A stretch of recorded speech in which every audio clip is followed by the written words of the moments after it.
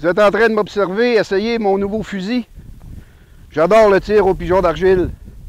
Je trouve que c'est une très belle pratique, une belle mise en situation pour euh, l'ouverture de la chasse au canard qui s'en vient. J'ai décidé de faire le grand saut. Eh oui, de m'acheter un fusil. Un fusil semi-automatique. Mais j'ai pas voulu l'acheter d'un coup de tête, alors euh, je suis allé voir un conseiller en armes chez La Tulipe et il a su me poser les bonnes questions. Tu veux faire quoi avec ton fusil, Sylvain? Ben, je veux chasser le canard, je veux chasser la sauvagine.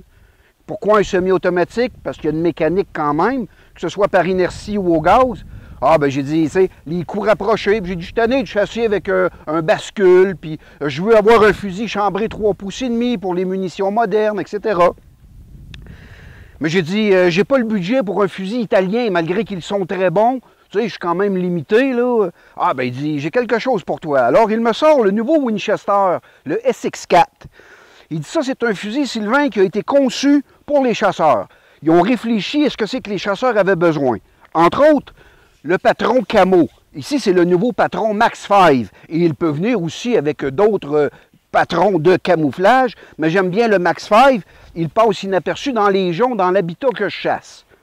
Également, il me dit que les crosses synthétiques à l'époque avaient un genre de son de tambour. Il était creux.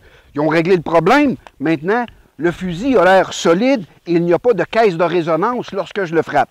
Facilement nettoyable, facilement démontable. Il me dit qu'il a des particularités intéressantes pour toi, Sylvain, en tant que chasseur de canards, tard à l'automne. Il dit Tu remarqueras que la poignée d'opération de la culasse, elle est surdimensionnée. Imagine-toi avec un gant, tu peux facilement l'opérer. De même que le bouton de relâche de culasse, ils l'ont surdimensionné également. Donc, je n'ai pas à le chercher sur mon boîtier de culasse. Même avec un gros gant, je suis capable de l'opérer et de le trouver sans problème. Et ça va de soi pour le bouton de sécurité.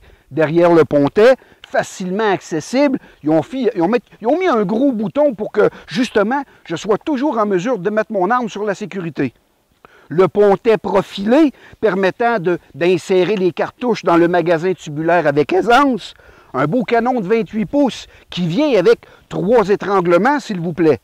Une belle fibre optique au bout qui me permet de localiser mon gibier assez facilement. Ce qui fait qu'avec le poids relativement léger, une belle plaque de couche permettant d'être confortable, même avec des charges puissantes, et avec le prix qu'il était euh, affiché, c'est le choix euh, de cette année.